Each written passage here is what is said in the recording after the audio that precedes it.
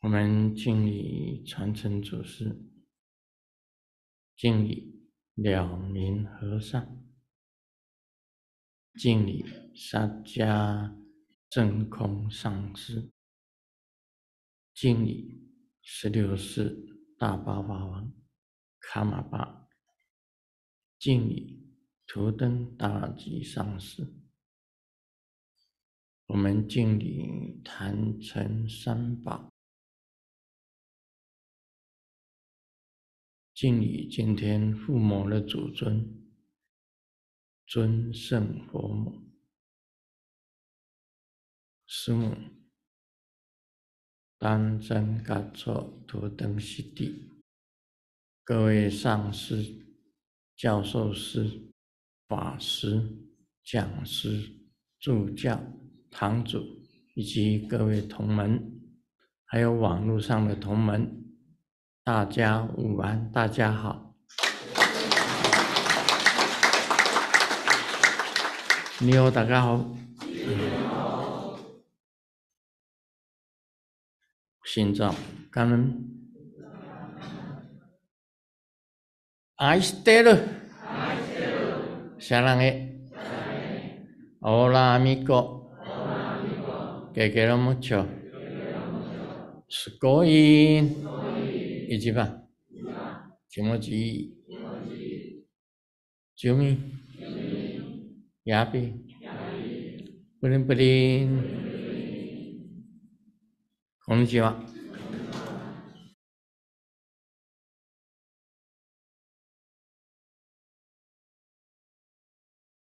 啊，现在通知大家，下个礼拜天，四月十六日。 下午三点 PM，我们做这个大水球菩萨护摩法会。大水球菩萨啊，Om Mahaprati Sado Soha Om Mahaprati。沙漏说哈，这一尊呐，最多的人主起大水球，这个很随球，也就是说你啊 不是随便求，啊不是随便求，啊总之。你求什么就得什么。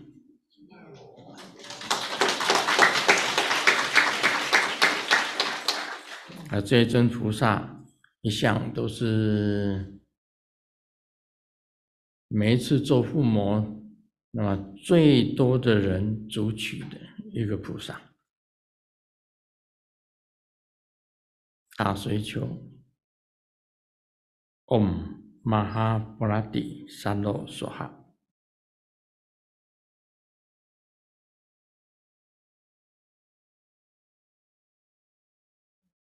我记得这个大水球，因为有水球八印嘛，啊，它有八个手印，啊，水球八印，八个手印，啊，最后的手印，最主要的手印就是番茄印，啊，番茄印，啊，我们是 tomato 啊，tomato 的印。呢。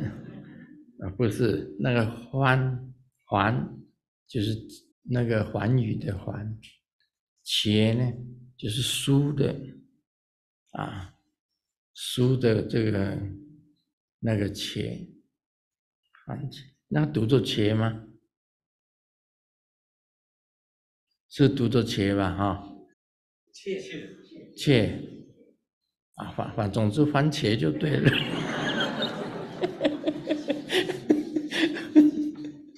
这个切切切切，番茄番茄印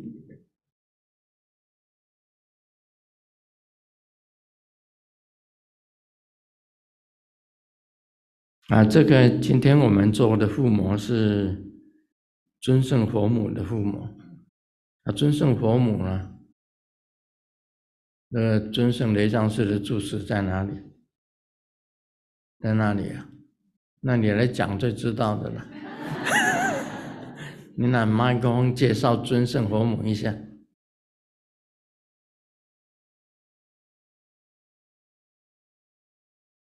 啊，你那个雷藏寺叫尊圣雷藏寺，里面全部都是四周围全部都是尊圣佛母哎。尊圣弟子简单的介绍一下尊圣佛母。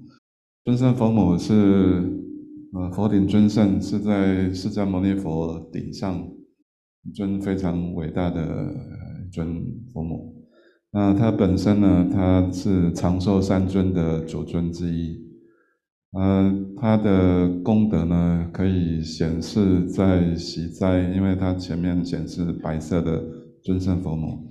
那在左边这边有金刚手菩萨在降伏上面，啊，或者是在右边这边有观自在菩萨，黄呃是黄色的，黄色的观自在菩萨，所以在呃祈斋、祈福、增益，还有在降伏上面都非常具有很大的功德。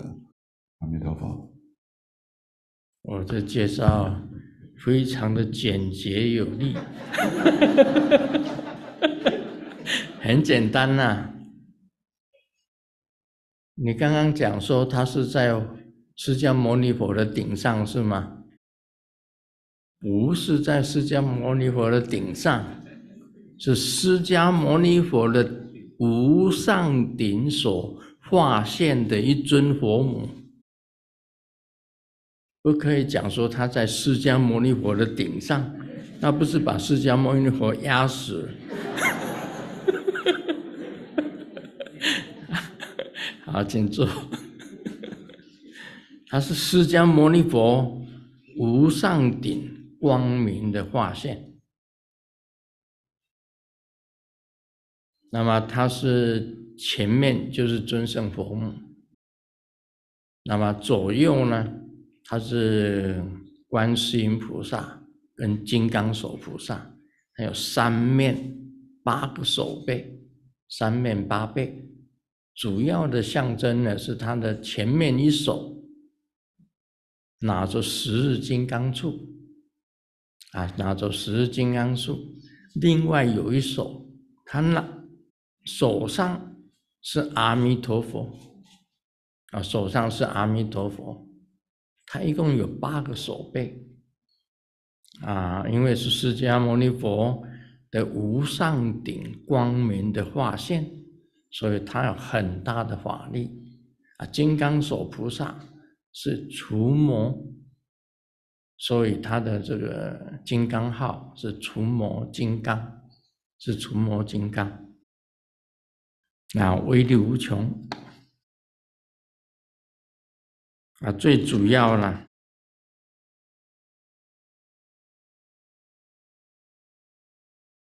真圣佛母的最大的功德力啊，可以除一切的烦恼业障，能破坏一切的恶道众生的种种的苦弊，能使众生得到一切菩萨的护佑，在现生中。不为疾病及诸苦恼事所障碍，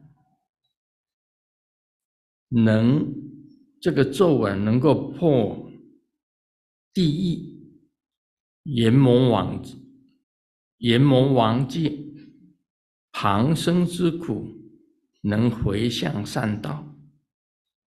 若有短命的，可以得到长寿，所以他是长寿三尊嘛。持这个咒啊，能消除百千劫中的一切的罪业，所生的地方啊，能够遇到诸佛，获得无上的菩提，也能够往生种种微妙的诸佛的净土，那能够读诵这个尊圣多罗尼者，此人所有一切地狱畜生、阎罗王、恶鬼，破坏消灭，无有疑疑。哦，他的这个功德非常大啊！刚刚这个尊圣佛母下降的时候，力量非常的大，力量非常的大。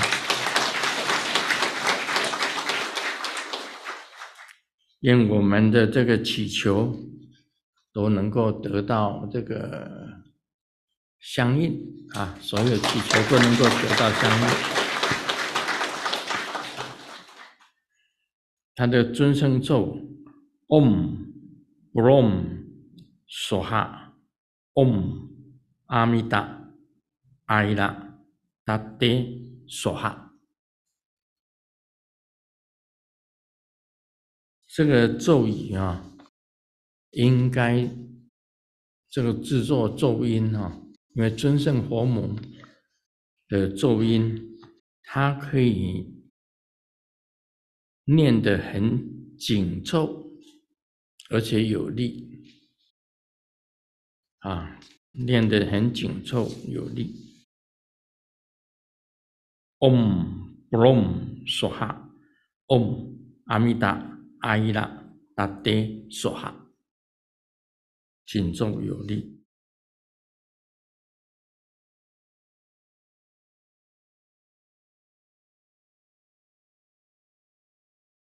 这真圣佛母的咒，这个这一尊在中土，在在中国，在中土。非常具有盛名，是释迦牟尼佛无上顶的光明化身。有时候一日经轮，一日经轮咒，你碰到困难。念 Om Brom，Om Brom，就可以把一些不好的东西给它去除掉。Om Brom，Om Brom，Om Brom，就是把不好的东西给它去除掉。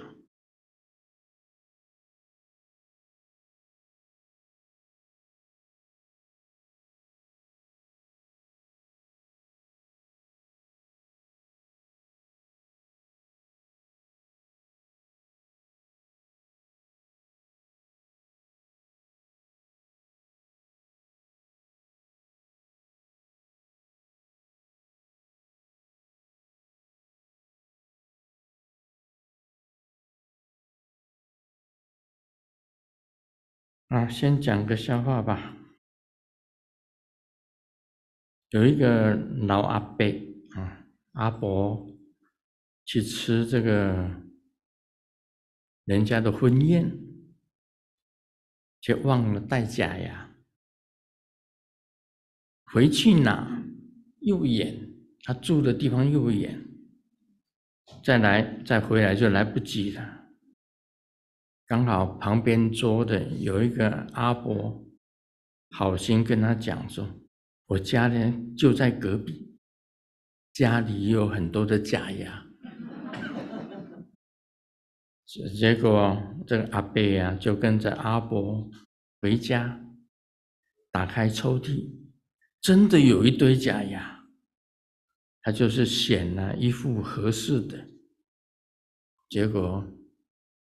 享受了那个婚宴啊，婚宴的菜肴。第二天呢，这个阿贝啊，把假牙洗干净，就送回去了。这，然后他问了那个阿伯：“那你先生是牙医师吗？为什么这么多的假牙？”这阿伯回答：“不是啦，我先生是捡骨师。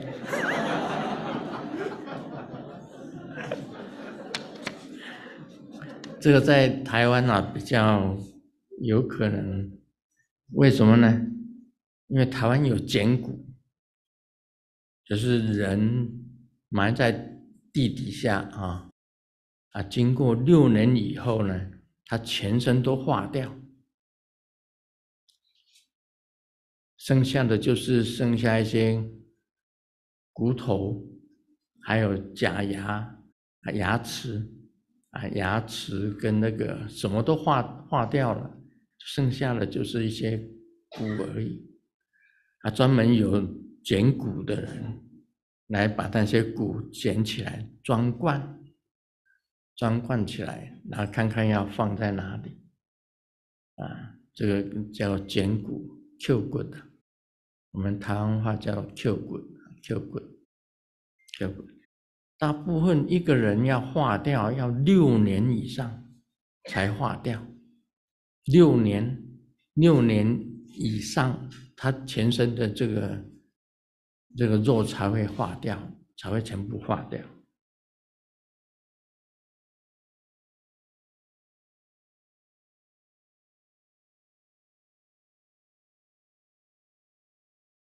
有一个人呢，找到了一份工作。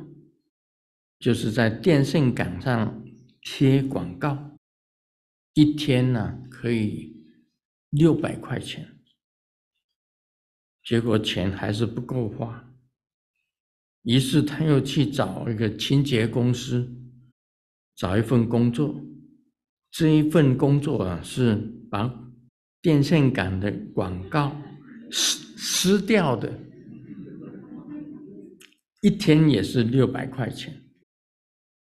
这样子，我一天就可能够赚一千两百块，还不用出门，因为他是贴，一个是贴广告的，一个是撕广告的，他只要不出门，那也不用贴，也不用撕嘛，所以他不用出门就可以赚一千两百块，有这样子的工作吗？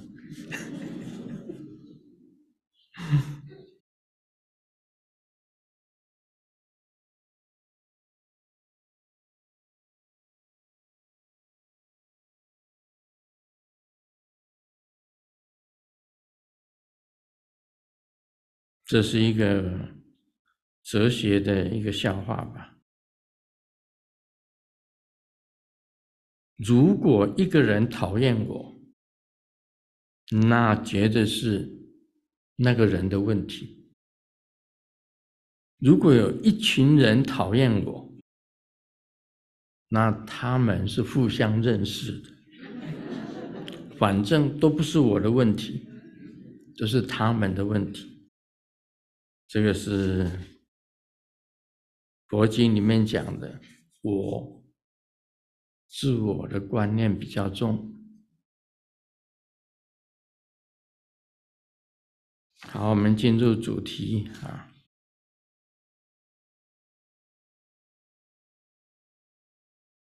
哦，这个提到尊胜咒诶。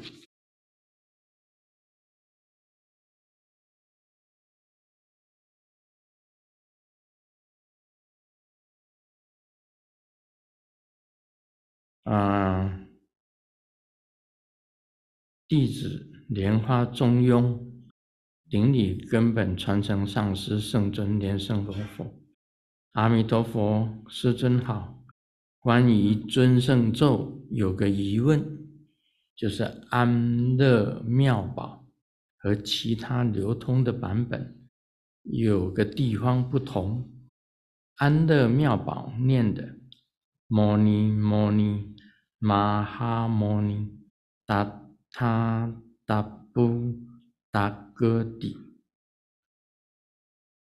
摩尼摩尼玛哈摩尼达他嘎达布达哥底。目前的道场一般都持诵的有两种，一个安乐妙宝是摩尼摩尼玛哈摩尼达他。达布达哥底啊，另外的别的就是摩尼摩尼玛哈摩尼达他嘎达布达戈底，目前道场一般持诵的。根据林光明教授写的汉传唐本尊圣咒的研究，达他达和达他嘎达是两个不同的意思。达他达是真如，达他嘎达是如来。依据师尊在岩顶的神师中学习密教一文所述，安乐妙宝。是了明和尚传给师尊，师尊再托友人翻印流通至今。请问真和宗弟子是否应该以安乐妙宝的尊圣咒为准？感谢师尊波尘回复，恭祝师尊长寿健康，永转法轮，快乐自在，莲花中庸顶礼。文集六十六册，圆顶的神师学习密教，清真道长的书柜中就藏有一本安乐妙宝。师父曾向我解释修法的种种程序及口诀。这本安乐妙宝也是内地古老的原始密本。后来我曾交给自己的好友。属其大量印征，分送于于人。附上出现这一季的两个版本，前奏有几出现几次。我们所念的这个尊圣咒啊，尊圣佛母的咒是短咒，比较是短咒，也可以讲是新咒。但是这个安乐妙宝里面的咒语，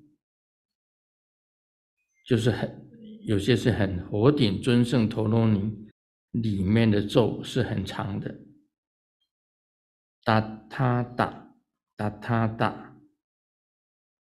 啊，达他达，他是用达他达，另外一个是达他嘎达，达他嘎达，安乐妙宝是达他达，达他嘎达，达他达他达，嗯，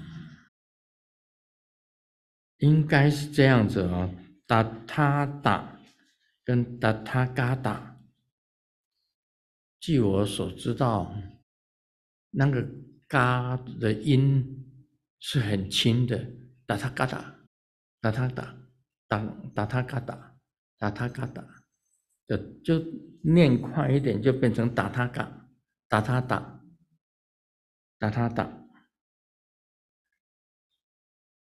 那个嘎只是中间的一个一个小音而已。但是他解释，一个是真如，一个是如来，啊，一个打他嘎达，哦，这边也有一个打他嘎达，打他嘎达。有好几次出现打他嘎达，有打他嘎达，也有打他打。这要问一下哈，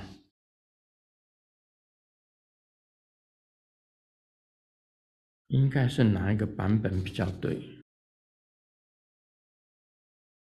安乐妙宝，安乐妙宝的是打他打。这个另外现在目前。大家在念的是达他嘎达，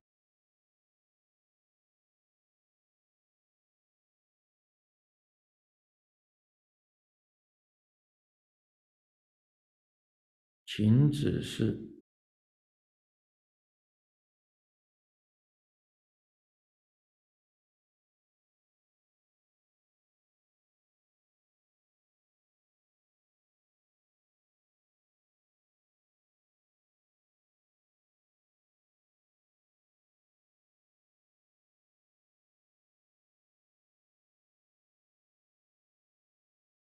应该安乐妙宝了才对啊！一般一般人在外面念的，是属于积非成事啊，积非成事。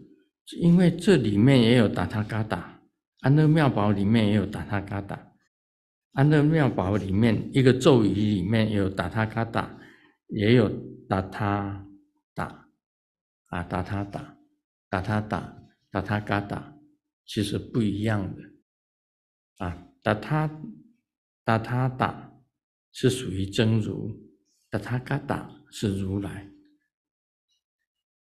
哦。应该是安乐庙吧比较对，那现在流传在外面，大家这个念的都是达他嘎达。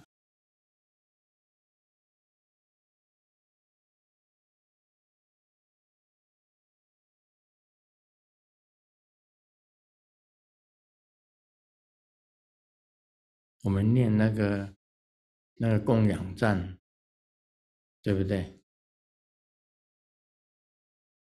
嗯沙瓦哒哒嘎达一大木格鲁娜娜没你擦啦看一眼大海啊哄嗯沙瓦哒哒嘎达一大木格鲁娜娜没你擦啦看一眼大海啊哄这这代表是真如供养，你最好的供养，达。他达是属于真如，达他嘎达是属于如来供养佛，应该是安乐妙宝的才对，安乐妙宝。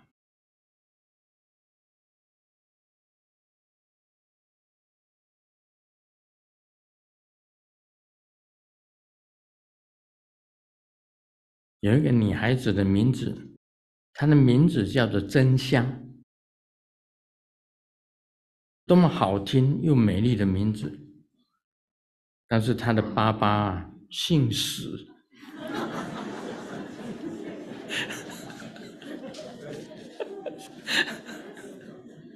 史真香。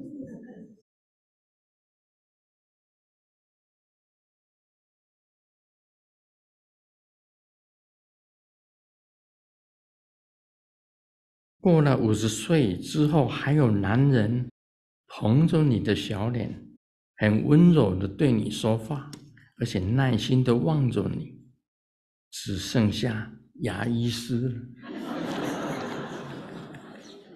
你人过了五十岁以后，哎，这太残忍了吧？什么五十岁？五十岁现在很多五十岁还是很漂亮的，对不对？哈。太残忍了！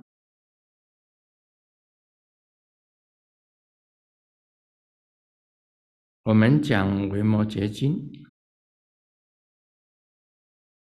今天讲自守戒心，不积比缺大净土。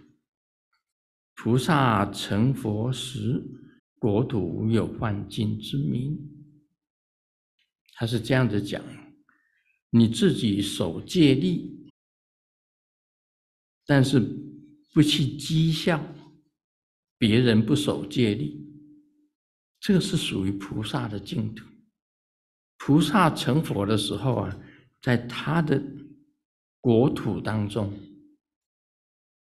就没有人犯戒了，没有没有没有人犯戒，没有犯禁之名。这个应该大家都可以自守戒律，为什么自己守了戒律，但是又不讥笑别人不守戒律，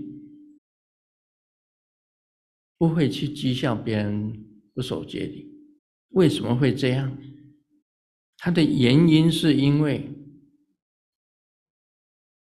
一个人修到一个境界以后。他没有自他的分别，没有我跟我所，完全自己跟他他人是一位。你自己守戒律，别人不守戒律，但是他不会去讥笑那些不守戒律的人。就是修行到一个一个境界以后，因为是自自己跟众生根本就合一了，也不能这样子讲，要怎么讲？因为他了解，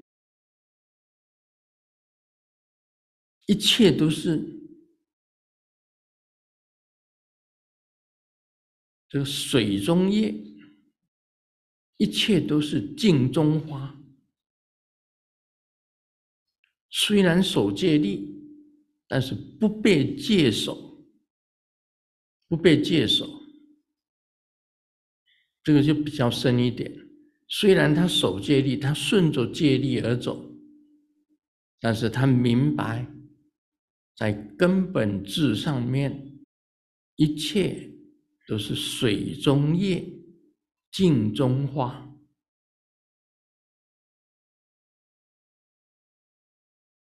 守戒而不被戒守，这是一个很高的境界啊！所以他其中所讲的自守戒心，不积彼缺。这这个菩萨成佛的时候啊，这个国土啊，没有什么叫做戒力跟犯戒力的这些事情都没有了，没有。但是在律宗里面呢，我们晓得律宗里面是守戒律啊，律宗是守戒，守戒律到无戒，到没有戒律可守。是因为你依着佛性，依着根本智，依着最圣意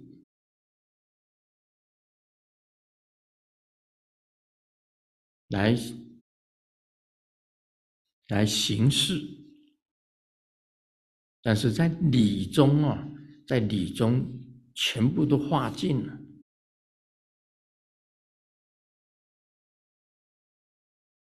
所以守戒而不被戒守，就是说，以理论上来讲，一切都是水中叶，镜中花，但是不能够波无因果，还是有因果存在，还是有因果存在。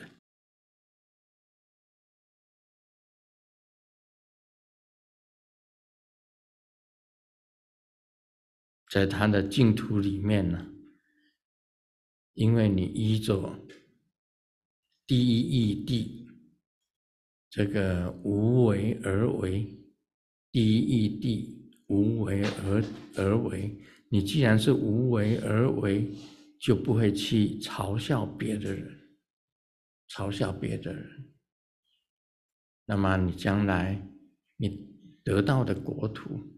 里面也没有什么戒，也没有什么叫幻戒的这些名都没有。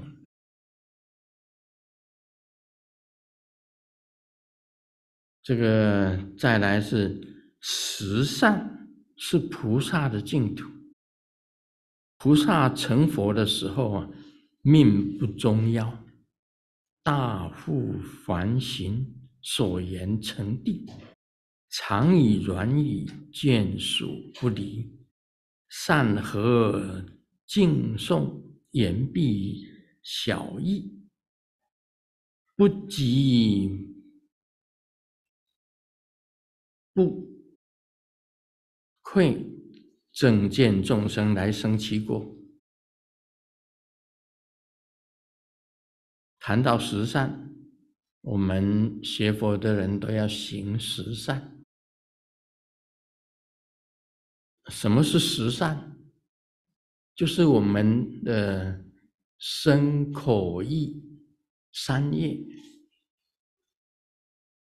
你不要犯身口意的三业，反之而讲，就是十善。啊，十恶我们晓得十恶，贪嗔痴是三种恶，另外呢，杀盗淫又是三种恶，然后再来呢，就是口，就是不妄语、不欺语、不恶口，再来是一个。啊，不两舌，不两舌，哦，两舌了，两个舌头就是，嗯，这个东家长，李家短，就是这样子，就是要两舌挑拨了，不挑拨了，两舌就是挑拨，挑拨两方面不好，那就是口是业，口有四种业。那意呢有三种业，身呢也有三种业，加起来呢就是十种业。这十种业都是属于恶的，叫十恶。你不犯这个，就是十善啊！不只是这样子哦，啊，好像你杀生，你杀生，啊，你去护生。去保护生命，去放生，那就是更好了。同样的这些道理，啊，就是说，除了这十恶你不犯以外，你还要做更好的。像贪呢，你去你不贪，你又布施，那就是更好了。好。啊，你不犯十恶就是好，你又去布施，那就是更好。啊，你呢，成呢，你又不生气，不不只是不生气，你还要去跟人家那个，跟人家劝和，啊，去劝人家和好，啊，讲这个柔软语。讲柔软语，那就更好了。那知呢？参嗔知呢？知呢？你用智慧，你用你的智慧啊，去行一切事，那就更好了。所以这里面有十善，也就是说，不只是你不犯业，还比犯业更好，好跟更好，这个意思。那十善是菩萨净土，菩萨成佛的时候命不中夭，他不会夭折，这个很很富有啊！我们这个下一次传法要传这个第一富豪法啊，第一富豪是几页几页？啊？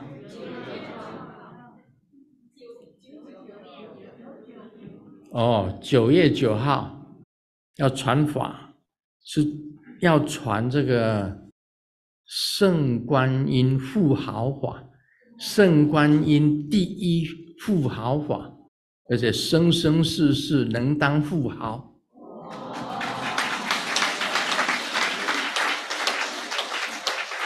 啊，像。台湾现在的富豪，就是像郭台铭啊，还有那些有钱的蔡家哈，这个富邦、国泰银行这些富豪，蔡家。然后在美国呢，像 Bill Gates 啊，像那个做电动车的啊，特斯拉哈，马斯克是吧？啊，马斯克，啊，这个都是很有钱的，他们都很有钱，都是第一富豪。那你将来啊，将来我们修这个啊圣观音第一富豪法，你转世如果没有到天上去，没有到佛国净土去，你没有成就；但是你转世，你修这个法，你就会变成第一富豪。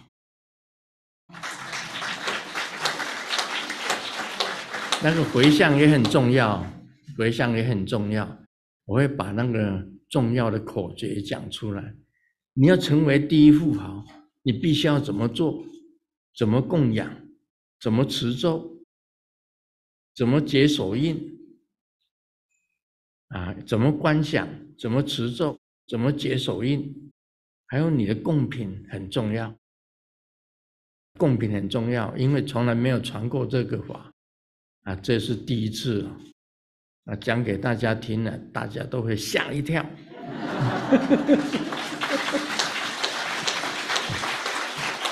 每个人呐。将来你们呐，就会成为第一富豪。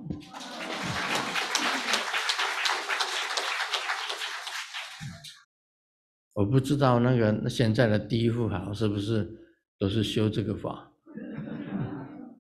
不过确实有圣观音第一富豪法，也就是富翁啦，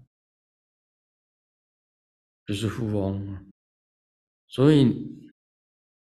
你行十善，这个你的一生当中啊命呢不会半途就夭折掉，而且呢你会很有钱，大富，很有钱，而且你又能够行为非常的清净，所讲的话都是非常的诚实，常常以。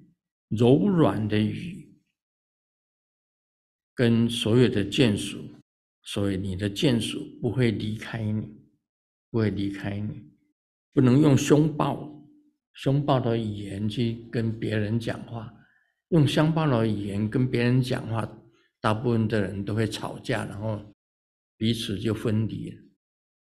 啊，经常讲话用柔软的语，见属不离。善和赠送，言必小义。他说：“你能够劝人家不打官司，劝人家不打官司，彼此之间不打官司，啊，不会有争执，啊，不会打官司。所讲的话必然是利益众生的，所讲的话利益众生的。”也不嫉妒，也不嫉妒，也不生气，而且拥有正见，这些众生啊，都会来生在你的国土。你行十善的话，那其他这些众生都会生在你的国土。那今天主要也是跟大家介绍啊，这九月九号的传法。这是圣观音第一富豪法，第一富豪法啊！你们对钱没有兴趣的，就不用来参加；对钱有兴趣的，其实每一个人都需要钱，对不对？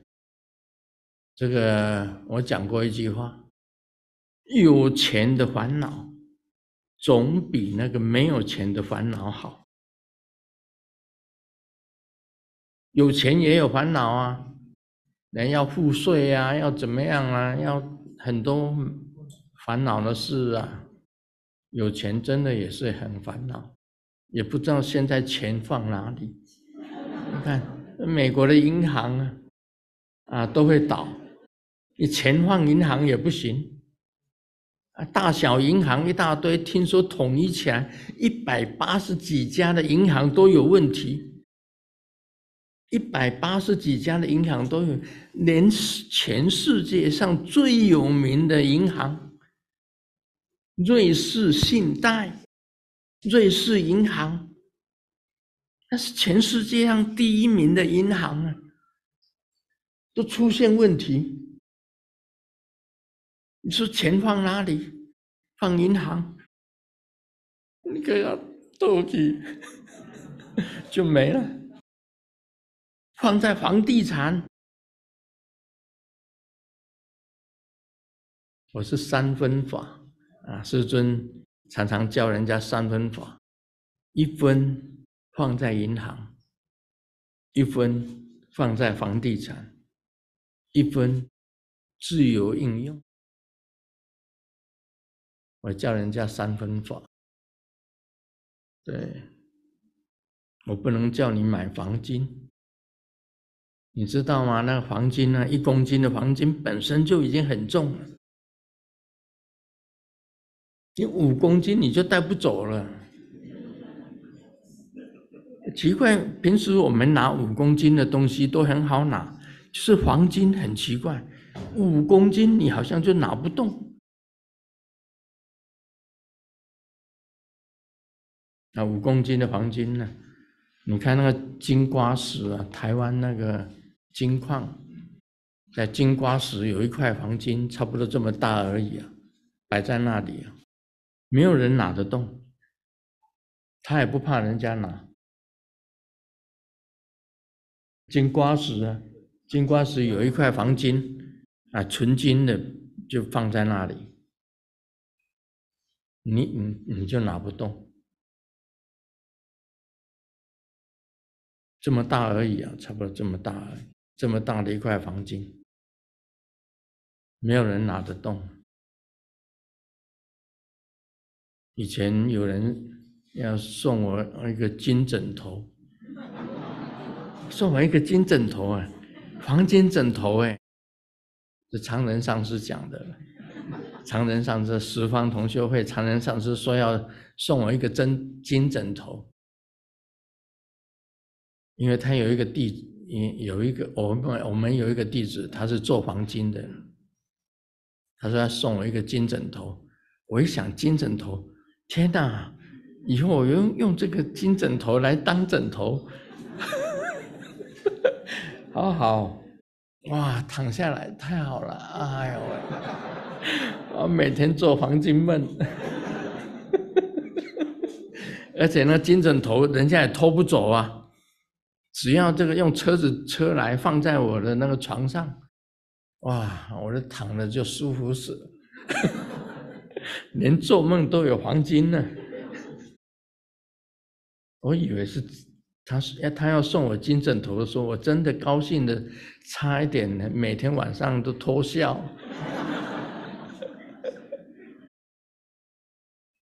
后来啊，终于知道了。他是送送我金枕头的小榴莲，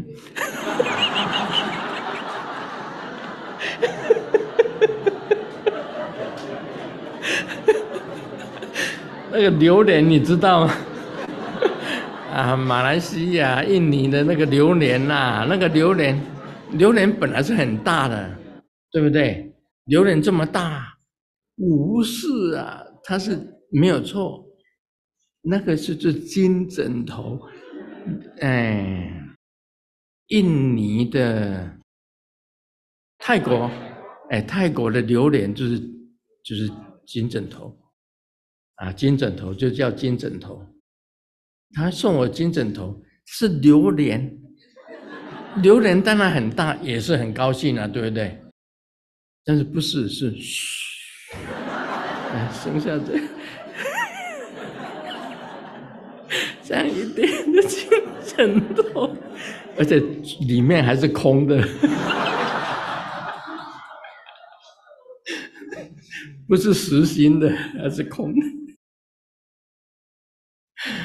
哎，这是榴莲，表面上是一个榴莲的样子，只送一粒也不对啊，应该要两粒，对。我们所有的都是两粒，哪有送一粒的？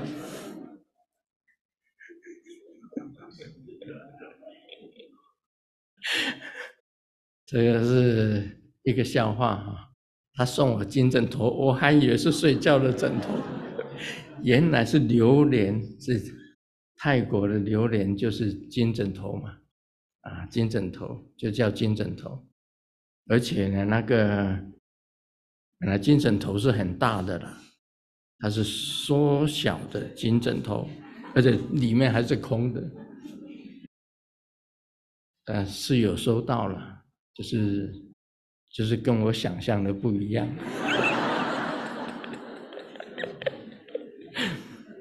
那常人上师来参加这个这个圣观音大富豪法啊，大富豪成就第一富豪以后呢，他就能够送给我真正的金枕头。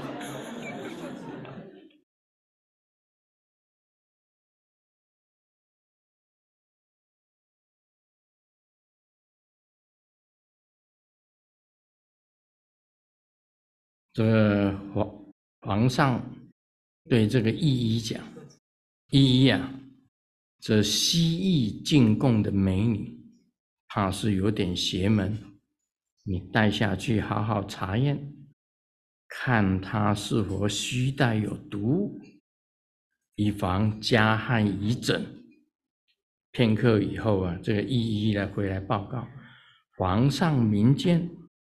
确定没毒。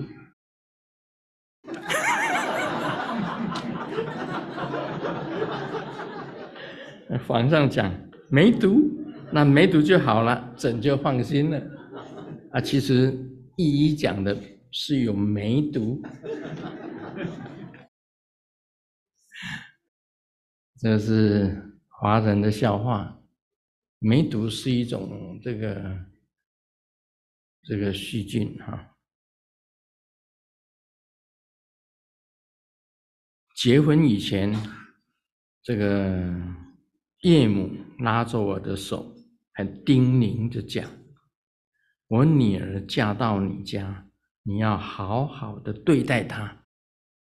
她有什么不对的地方，你要多担当些，凡事都顺着她，有话好好说。”千万不要跟她动手。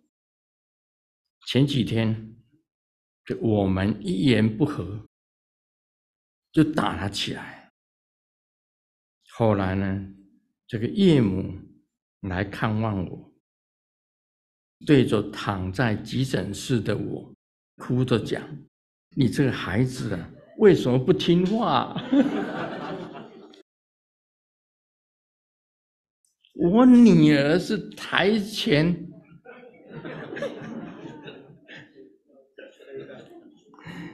敢跟他打架，你看，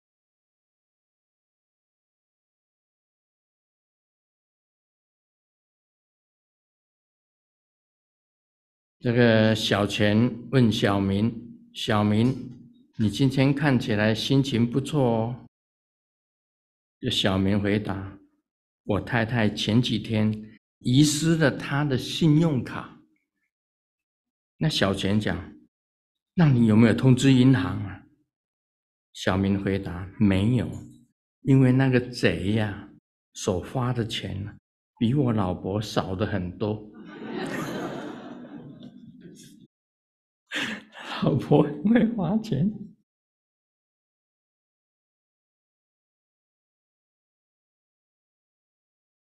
告诉大家啊，千万不能变胖，不然以后你穷的时候去讨饭，都没有人相信你是乞丐啊。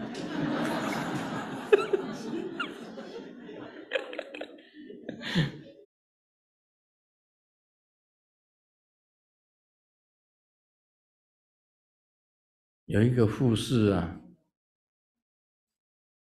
啊。去找一个那个到了那个病房，去找一个阿伯，阿伯躺在病房，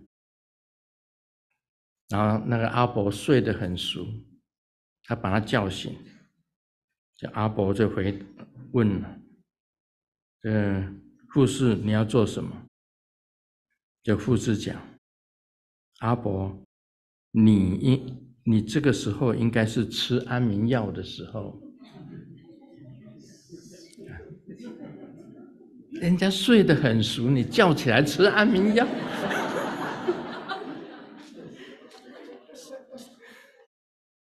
就这世界上很多很矛盾的事。